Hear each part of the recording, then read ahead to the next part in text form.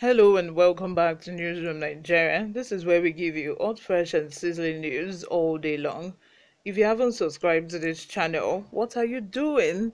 Please go ahead and subscribe, turn on the post notification bell so that you can be the first person to get notified whenever we upload a new video. Help us grow this channel by giving this video a massive thumbs up so that it gets recommended to other YouTube viewers all around the world Lastly, please leave your comments in the comment section. Without further ado, let's delve right into the details of today's news. Finally, Rivers Police speaks on reports of DPO shooting inspector to death, reveals what happened. The Rivers State Police Command has denied reports circulating on social media that a divisional police officer, DPO, shot an inspector attached to his division. According to the spokesperson of the command, Grace Iringe Koko, in a statement released on Thursday, there was neither a shooting nor a police facility called Ninth Mile Police Station in any part of River State has contained in the trending publication. Iringe Koko described the publication as the handwork of mischievous elements aimed at creating panic in the minds of the public, disaffection and disaffection within the police. The statement went on to notify the general public that no such incident had been reported in any part of the command. It further clarified that there was no division known as Ninth Mile Police Station in River State and that no record shows that the named DPO was serving in River State. The command stated that there had been no shooting incidents in the command formation, divisions and tactical teams since January 2023.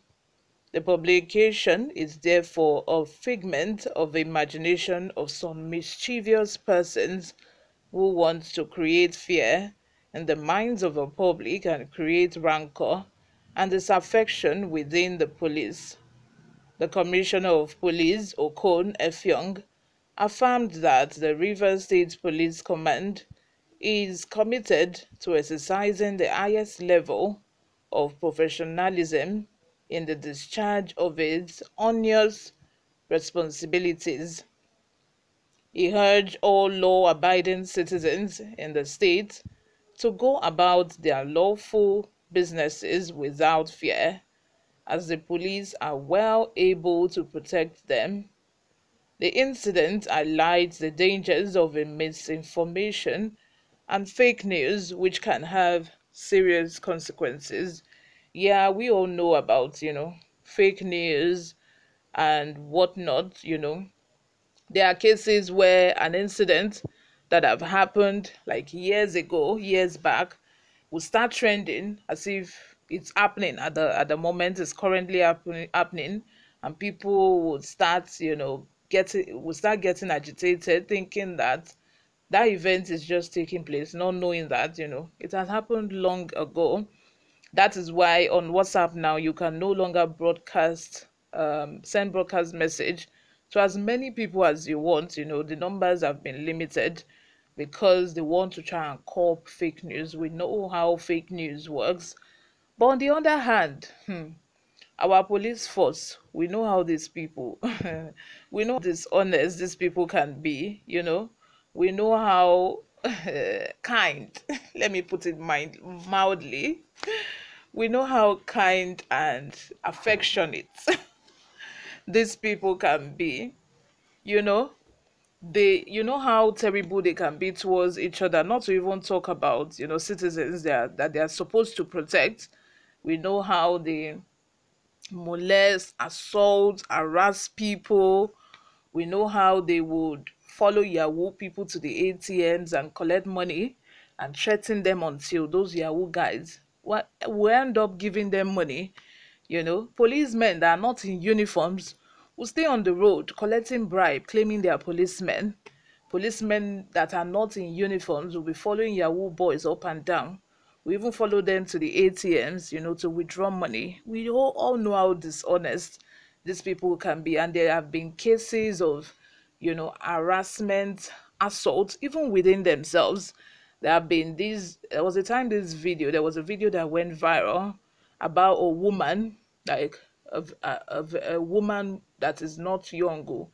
I'm talking of a woman that should be out in her late 40s or 50s, who is a police officer, you know, accused a fellow police officer of assaulting her because she refused his his advances, sexual advances that he was throwing at her. You know, she came out, she made the video and everything, and before you know it, the police denied and said there was nothing like that uh, probably saying that she wasn't even one of them, that there is no story like that. So we've seen, you know, these happen repeatedly, repeatedly. The police will, will come out to deny stuff that we all know that is the fact. You know, they'll come out to deny it. And this will not be an exception. That is what I'm trying to say. This situation would not be an exception. There was a story that came out saying a DPO, you know, shot shot a subordinate that is serving under him. And now the police are coming out to say, oh, it is fake news, you know. You know how people blame everything on fake news. At the end of the day, even the government blamed EndSARS on fake news. They, they were saying the massacre never happened, that it was fake news. They will always, the end result, the, uh, the, the most logical excuse or the, the escape route that most of these government officials and uh, police officers likes. The, the, the most logical excuse they think that they, they can come up with usually is that it is fake news. Because they know that right now fake news is a thing fake news exists you know. There's the wide wide spread of fake news around the country you know. They know how how fake news have been going viral. And you know fake news is a thing. I would not deny that. That is why they have always you know they have always thought of you know using fake news as the excuse. But let me know what you all think in the comment section. Do you think this is actually a fake news? Or do you think this actually happened? Because it might just be that this inspector is trying to save face. And if he knows one or two high ranking police officers they will cover up for him. That is it let me know what you think in the comment section guys. Subscribe if you haven't. Thank you very much for always watching and leaving a comment in the comment section. I will see you in my next video. Bye for now